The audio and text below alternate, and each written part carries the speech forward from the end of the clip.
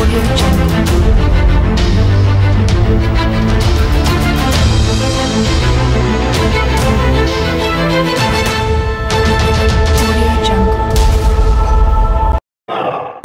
Bonjour. Est-ce que vous pouvez se présenter Ingénieur Dieudonné Lossadekana, le coordonnateur provincial de la société civile de l'Itour.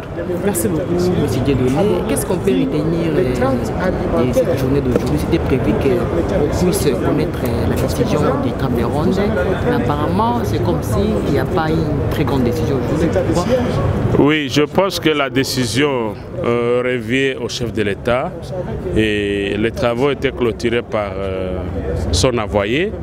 Nous ne trouvons vraiment pas d'inconvénient à ce sens, mais la vérité est que tout a été déjà dit. Il a toutes les informations, même ce que la population demande jusqu'à la base. Il en a déjà et nous l'attendons justement pour concrétiser ce qu'a demandé la population. Qu'est-ce que la population demande? La levée pure et simple de l'état de siège pour son inefficacité après 27 mois, sans, sans atteindre, pour n'avoir pas atteint les objectifs pour lesquels il a été instauré. Il y a quelques-uns l'entre de dire que vous êtes manipulé par un groupe de gens pour que l'état de siège soit, soit, soit enlevé. Non, mais depuis quand l'état de siège est une mesure qui doit être permanente? Ça, c'est que le pays? Si c'est ça, alors on doit installer le militaire partout comme gouverneur pour ceux qui pensent que c'est ça l'état de siège. L'état de siège, c'est une mesure particulière, une mesure spéciale pour un mandat. Ce n'est pas une mesure éternelle. Ça, tout le monde doit le savoir. Manipuler pour quel fait? La population continue à souffrir. Jusqu'hier, on a tué 10 personnes en Ituri sous l'état de siège. On a attaqué les sites de déplacés où on a tué 46 personnes sous l'état de siège. On a tué avant cela plus de 62 personnes sous l'état de siège dans ces sites de déplacés. Vous voulez garder ce genre de choses? C'est créer, c'est vouloir travailler contre le chef de l'État. Je pense que le chef de l'État, il est le père de la nation. C'est lui qui a toujours dit le peuple d'abord. Et voilà que le peuple s'est exprimé aujourd'hui. Nous ne croyons pas que le chef de l'État va prendre la direction contraire à ce que la population lui demande. Si peut-être j'ai vite compris, il n'y a pas les avancées significatives dans l'état de siège. Justement, c'est ça la raison. tunamiona mnakuja hapa kwa table round so watoto wa Ituri wanaishi kujua mambo yenyewe mnakuwa kusikiliza ili Tulifika kwa table ronde, iko kwanza sisi raia tuliomba na kisha baba wa taifa alikubali akaita table ronde. Tumefika, tulikuwa hapa siku tatu, tumeongea mambo ambayo ina tunaishi kwa Ituri, na kisha kumaliza maongezi, tunachunga neno moja tu kutoka kwa baba la taifa kusimamisha sasa hivi ile uongozi wa kijeshi ambaye haiko kapable kuarete mauaji, haiko kapable kuleta salama kwa Ituri. Hata jana zaidi ya watu kumi waliweza kuuawa kwa Ituri. Hii inaimaanisha ya kwamba tuko kwa etat de siege, hakuna mambo yameendelea. Watu wameuawa katika makambi ya wakimbizi, haiko mara moja tu tangu etat de siege iko zaidi ya mara tatu tano, watu wamekufa katika kambi ya wakimbizi. Sasa faida gani kuchunga kitu ambayo haiwezi kuleta salama kwa mji? Sisi tunapenda kujua decision ya mwisho ilikuwa ni nini. Decision sisi hatuwezi kutamka decision, ni baba wa taifa ndio atakamata mpango, lakini ombi la taifa, ombi la wakaaji wa Ituri ni kukomesha etat de siege, na tunaamini sawa baba wa taifa ambaye anashughulikia Euh, population yake hawezi enda mbali mbali. Monsieur le journaliste. On en parle à respect. Est-ce que vous, vous, pouvez se présenter? Je suis Madame Marie Noël, euh, membre de la, de la, délégation de la société civile Ituri. Et précisément, je suis coordonnatrice de la société civile dans le territoire des Mambas. Merci beaucoup, madame. Est-ce que qu'est-ce qu'on peut retenir pour cette journée d'aujourd'hui? C'était prévu et c'est connaître la suite des tables rondes, mais c'est comme s'il n'y a pas vraiment une grande suite et aussi vous avez claqué la porte. Qu'est-ce que cela veut dire? Merci beaucoup. Euh, là, vous posez plusieurs questions à la fois. Je vais commencer de, avec la question d'avoir de, de, claqué la porte. Euh, nous avons claqué la porte hier suite euh, à la mauvaise gestion de la facilitation de la commission dans laquelle euh, on nous avait mis. Parce que nous étions classés dans les commissions sans notre aval. Et comme les listes étaient venues, on a réparti les gens euh, sans que l'on nous consulte, sans que l'on demande euh, si telle ou telle autre personne voudrait travailler dans quelle commission. Euh, pour rappel, nous allons dire qu'il y avait trois commissions, qu'il y avait trois thématiques, que les gens qui avaient travaillé pour le travail, ceux qui avaient fait le travail préparatoire avaient suggéré trois thématiques. La première thématique, c'était de maintenir le maintien de l'état de siège. Deuxième thématique, c'était la requalification de l'état des sièges. Et troisième commission, c'était euh, la levée de l'état des sièges. Nous, nous sommes, comme je disais tantôt, retrouvés dans la commission euh, maintien de l'état des sièges. Et quand nous étions dans le, la salle, avant qu'on commence les travaux dans, la, dans les différentes commissions, et même le, le discours de, du chef de l'État et celui du ministre, du Premier ministre, je m'excuse, okay. euh, il nous avait appelé à un travail ardent, à un travail qui va aboutir à des recommandations qui feront à ce que euh, le chef de l'État, garant de la, la, République, puisse en prendre une décision favorable pour la vie de l'État. Okay. Maintenant, en allant dans les commissions, il fallait donner le pour et le contre de chaque thématique. Mais celui qui avait la police de débat euh, a semblé euh, vouloir dicter. Et en refusant Imposer. Imposer ses idées, en refusant même de nous donner parole pour qu'on essaie d'exprimer euh, tout ce que nous avons transporté de la base pour ici. Parce que moi, je viens de Mambasa, je connais ce qui se passe à Mambasa, comment la population souffre. Avant l'état de siège, il n'y avait pas l'insécurité dans le territoire de Mambasa d'où je viens. Mais pendant l'état de siège, l'insécurité s'est exaspérée jusqu'au niveau où, euh, à quelques 15 km de Mambasa Il y a eu des incursions. Et il ne s'est passé pas euh, de, avant que les jeunes et nous, la coordination, on écrive un mémo, il ne s'est passé pas un jour, euh, deux jours, une semaine sans incursion, sans mort sans qu'on brûle le camion d'autrui, sans que les gens ne perdent leurs biens de valeur, sans qu'on brûle les maisons. C'est comme cela que dans la commission, quand nous nous sommes sentis lésés, nous de l'Itour et du Nord parce que dans la commission, on a compris que c'était les gens de Kinshasa, c'était les gens qui sont venus dans d'autres provinces, et c'était les gens, les délégués des, des deux provinces en état, sous état de siège, les gens qui sont autour de gouverneurs militaires. Donc, ce sont ceux-là qui travaillent dans le gouvernement militaire, dans les deux provinces, et les gens qui sont les délégués des autres provinces, et les gens qui habitent Kinshasa, qui ne connaissent pas la réalité du terrain, qui avaient voulu nous imposer leurs euh, idées. C'est comme cela que nous n'avons pas été d'accord avec l'équipe du cordon provincial et les autres, le pasteur, le chef coutumier. On a claqué la porte et on a fait une déclaration pour dire que nous n'étions pas d'accord avec cette façon de faire parce qu'on devait demander notre avis, on devrait nous accorder la parole pour écouter le pour et le contre du médecin. Parce qu'un mot en français peut avoir plusieurs sens. Il n'est pas dit quand on dit la thématique c'est médecin, donc je viens là automatiquement on doit me tenir. Non, je dois présenter les arguments qui doivent concourir à, au médecin ou au non-médecin. Et c'est comme cela que j'ai balayé un peu cette première question. En ce qui concerne la journée maintenant d'aujourd'hui, ce que je viens de relater, c'était hier. En ce qui concerne la journée d'aujourd'hui, d'abord, j'ai fini avec hier.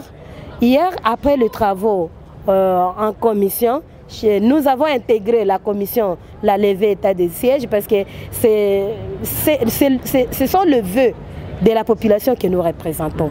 Alors, la population ne jure que par la levée pure et simple de l'état de siège. C'est comme cela que euh, nous avons intégré cette commission après avoir claqué la porte à la commission euh, de, de, de, maintien de l'état de siège.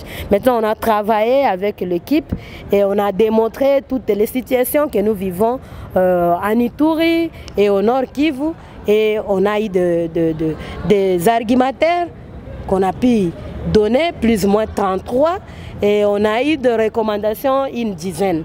Et hier soir, autour de 19h, chaque commission a présenté devant le Premier ministre le euh, rapport de la commission, le euh, la première thématique, le métier de l'état de siège, a présenté son rapport. Euh, donc, les côtés positifs, ou encore, je vais dire, l'argumentaire pour les maintenir et les recommandations. la deuxième thématique a présenté son rapport en ce qui concerne la requalification de, de l'état de siège. Et la troisième thématique ou la troisième commission concernait la levée de l'état de siège.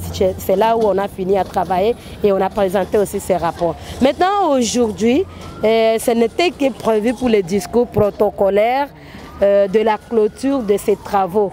Comme on a fini hier tard, et le programme prévoyait que le président de la République lui-même vienne clôturer la séance. Et nous avons appris qu'il était à déplacement. Et au finish, il a euh, délégué le pouvoir au premier, au premier ministre à son Excellence le Premier ministre pour pouvoir boucler et clôturer euh, la séance de travaux pendant, euh, passée pendant les deux jours. Donc, en ce qui concerne le retombé, nous, on ne peut pas dire que euh, maintenant, d'ores et déjà, nous attendons euh, les, les, prononcés de, du président de la République. Non. Il va exploiter le rapport de ces trois commissions et voir ce qu'il doit prendre comme décision. Donc, pour nous, la population, nous attendons la, la position qui doit être en faveur de la population. À ce sens, nous demandons euh, nous demandons vraiment au président de la République de travailler, euh, d'exploiter ces rapports et de faire en sorte qu'il puisse donner, euh, faire ressortir une décision qui sera en faveur de la population. Nous sommes à l'année électorale. Le président de la République aura vraiment l'intérêt de bien faire les choses, de bien analyser le rapport et de bien prendre une décision et nous ne girons que par une bonne décision qui va le favoriser pour le deuxième mandat, mais aussi qui va favoriser la sécurité dans nos deux provinces. Donc c'est ça un peu ce que nous demandons. Et au gouvernement avec les différents ministres sectoriels, nous allons demander à ce qu'ils fassent leur travail. Que la sécurité, euh, le, ministère qui a la charge de la sécurité de défense puisse doter les FRDC avec toutes les autres composantes de la sécurité de moyens conséquents logistique je ne sais pas, euh, bien payer les militaires, ainsi de suite, en fait qu'ils puissent mener à bon port leur travail des routines, leur travail traditionnel qui est de sécuriser euh, l'intégrité territoriale, mais aussi de sécuriser la population et c'est bien. Nous ne voulons plus euh, voir ce que nous avons vécu pendant le, le, le 27 mois. Les 27 mois ont été un calvaire pour nous, la population de l'Itouri et la population du Nord Kivu. En particulier, la population de Mambasa en a souffert. Parce qu'avant l'état de siège, comme je le disais tantôt, Mambasa n'était pas insécurisé. Mais pendant l'état de siège... vous étiez bien avant l'état de siège Oui, dans notre territoire, il n'y avait jamais d'incursion. Les ADF n'opéraient pas là-bas. Mais aujourd'hui, jusque même à 10 km, à 12 km, les, les, les ADF y arrivent. Ils brûlent des maisons, ils brûlent... Ils, ils saccagent même le, gros véhicule. Les, commerçants de notre contrée sont fatigués de cette insécurité. Les agriculteurs de notre contrée euh, sont dépourvus même de leur pouvoir agriculteur. Parce que pendant les saisons euh, culturelles, pendant les récoltes, c'est à ce moment que l'ennemi de la paix vient déstabiliser la population. Donc c'est ce que nous demandons euh, au chef de l'État euh, le président de la République de prendre une bonne décision une fois pour toutes pour lever l'état des sièges afin que euh, les militaires s'occupent de leur travail régalien et les civils s'occupent de la politique. Les militaires ne peuvent pas faire la politique. Les militaires ne doivent pas gérer longtemps une entité parce qu'en gérant une entité, il devient affairiste. Et quand il devient affairiste, il n'aura plus le temps d'aller combattre. Mais, il... oui. Madame, apparemment, euh, dans, pendant la période de siège, il y a eu aussi quelques avancées significatives. Oui, nous pouvons dire les avancées significatives en termes, euh, comme chez nous à Nitouré, euh, au niveau de la province, au niveau de la ville, on peut dire qu'il y a quelques avancées en ce qui concerne l'infrastructure. Mais l'état de siège n'était pas institué pour aller nous construire des routes. ou, la voirie urbaine. L'état de siège était institué pour éradiquer l'insécurité. Et après l'éradication de l'insécurité, là maintenant le développement va venir. On ne peut pas commencer le développement pour finir avec l'éradication de l'insécurité. Non, l'ordonnance instituée à l'état de siège est très claire. Donc, messieurs les journalistes, euh, nous allons dire que les, les, gouverneurs militaires dans les deux provinces ont failli à leur mission. Bien qu'ils nous ont amené euh, le développement dans tel ou tel autre secteur, ce n'est pas ce que nous attendions. Aujourd'hui, oui, nous n'allons pas dire que nous maintenons l'état de siège parce que nous a construit, euh, je ne sais pas, euh, la mairie à Bougna, parce qu'on nous a asphalté euh, la voirie urbaine. Non, nous disons... On peut se présenter je suis Willy Combo, conseiller au ministère des Relations avec le Parlement.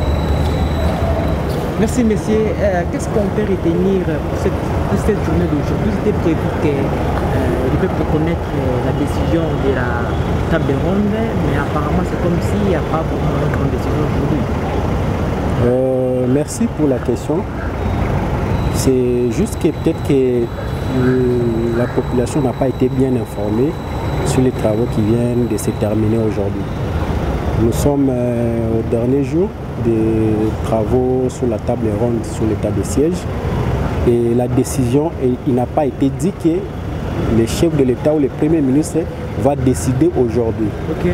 Nous avons conclu les travaux, et les travaux auxquels j'ai participé comme expert et les rapports de ces travaux sera remis au chef de l'État et c'est au chef de l'État de prendre la décision sur l'avenir de l'état de siège. Donc ce n'est pas aujourd'hui qu'on attendait la décision sur l'état de siège.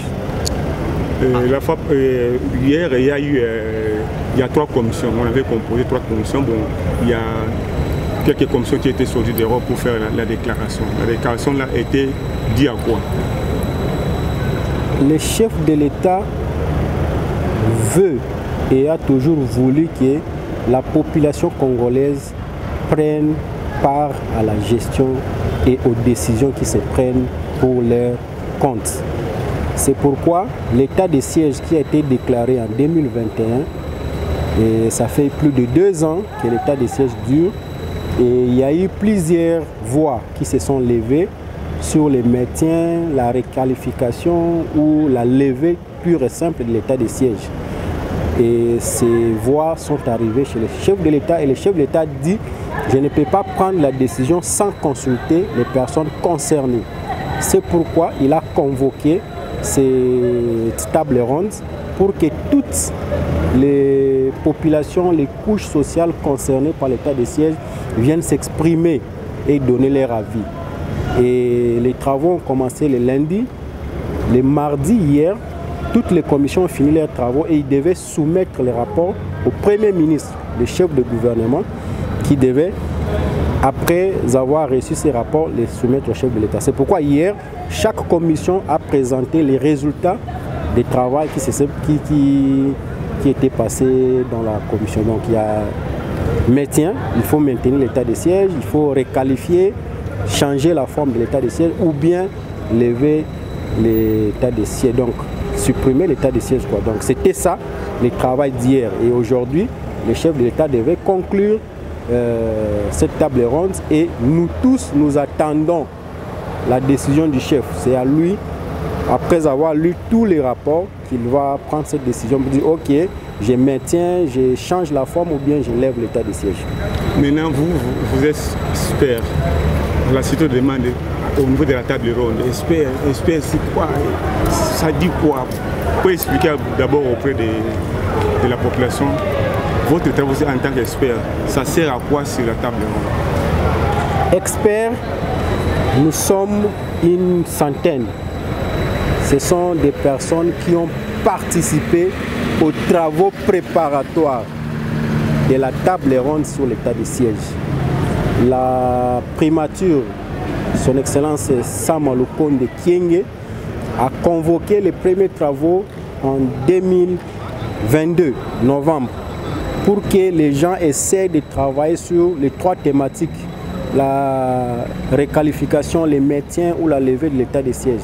Nous avons participé à ces travaux, nous avons donné des avis vu la situation sécuritaire du pays, vu les enjeux politiques et les enjeux internationaux, nous avons donné les avis. Voilà les chefs, voilà ce que nous passons pour telle, telle, telle thématique.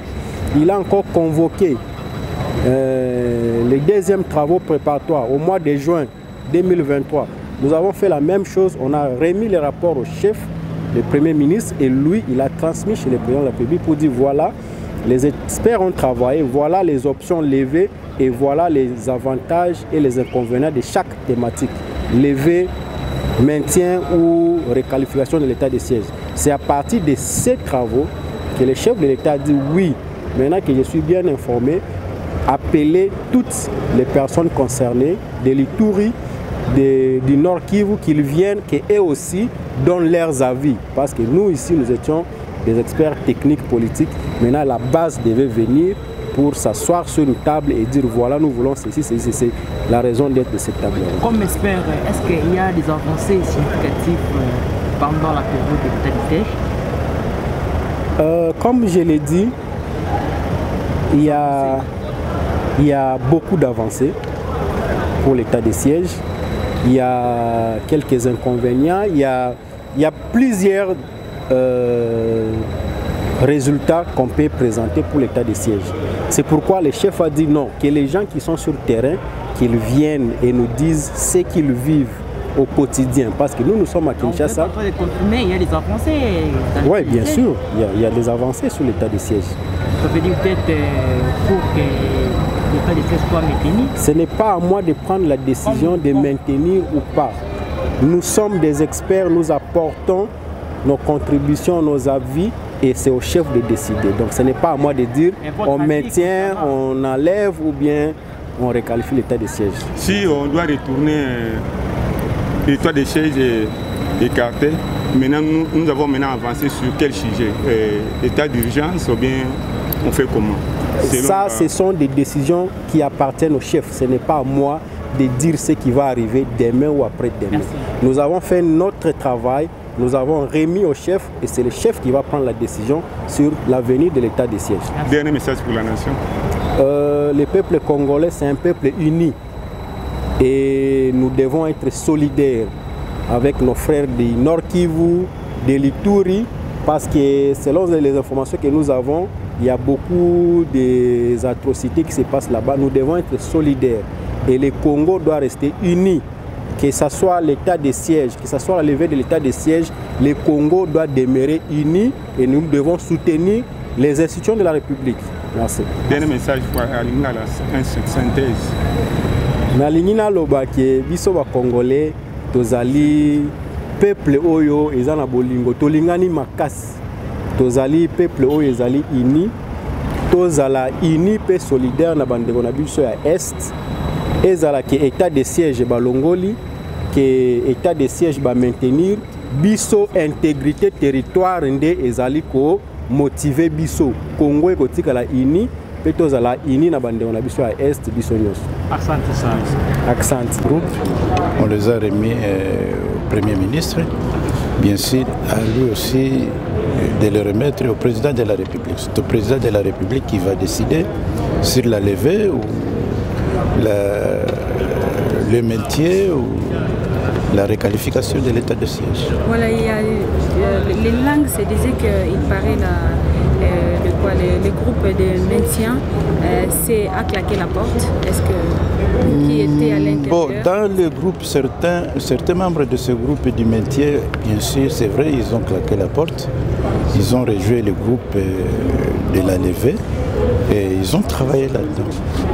Alors qu'est-ce que vous vous attendez du chef de l'État, vous en tant que Mohamed de Massissi, euh, territoire occupé par l'M23? Bon, en fait, en tant que moi, mi- de Massissi, moi j'attends du chef de l'État de prendre une mesure qui va mettre fin à la guerre et pour que les déplacés puissent rentrer dans leur milieu d'origine. C'est ce que j'attends de lui. En fait, la mesure doit être prise dans le sens de mettre fin à cette guerre-là qui a trop duré. Merci. Merci beaucoup. Comme ya Swahili.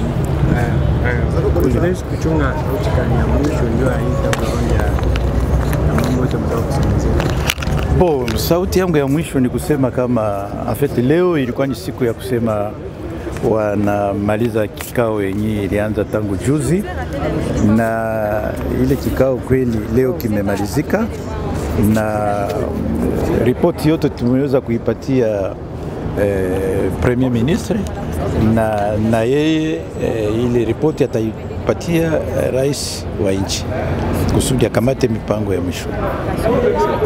Asante sana. Mjambo na Jambo, tunapenda kujua mambo yenye kwa kusemezea matabu ya na decision ya mwisho iko ni nini? Kikao kenye kilitishwa na rais wa nchi President Tshisekedi juu ya kufikiria kuhusu hii hali ya dharura ambao jimbo la Kivu ya Kaskazini na jimbo la Ituri zimekuwapo eh, muda wa zaidi ya miaka mbili hivi. Na hapo watu uh, waliweza kubadili fikra mbalimbali mbali, na kwa, kwa, kwa wengi hivi eh, kati ya wa, wa, wa, waalikwa walipenda kweli hii hali ya dharura iwezi kukomeshwa eh, kwani eh, hali hii haikuleta amani haikuleta mafanikio kamili kwa kuleta amani mashariki ya Kongo. Uh, alo uh, wengi waliwaza ya kwamba ni mzuri kuikomesha. Uh, uh, uh, sasa kwa sasa jibu kubwa ya, itatokea kwa, kwa, rais wa nchi. Ni yeye pekee amekuwa na kusudio ya kukamata kusudio ya mwisho. Mlikuwa watu wengi sana. Eske mwe mlikuwa na sauti moja au walikuwa na huyo? Ni kugumu katika kikao kama hiki watu wote waseme neno moya, lakini yenye mimi naweza kusema ya kwamba wengi hivi waliweza ku, walipenda kweli hali hii ikomeshwe ya dharura hii ya etat siege, lakini si shurti hapana kwa, kwa, kwa rais wa nchi. Inabidi, inabidi sasa rais, rais wa nchi yeye akamate hatua ya kudumu na hatua kamili ama mpango kwa, ku, uh, kwa, kuka, kwa kukamilisha mawazo ambayo yalisemeka hapa. Inawezekana kama rais akamate mpango ya kutosha ya kuondoa hii hali ya dharura. Uh, pia inaweza wezekana rais akamate mpango ya kuweza kuibadilisha ile wanasema mkifaransa requalification, na pia anaweza kutokukamata hatua yoyote, ni kusema ya kwamba mambo yabakie kama vile, lakini matumaini yetu ni kusema ya kwamba atakamata hatua ambao itafuatana na maoni ya watu na watu wengi hapa katika kikao hii muda ya, ya siku tatu uh, maoni yao ama mawazo yao za nia zao ni kusema ni sherti hali hii ikomeshwe.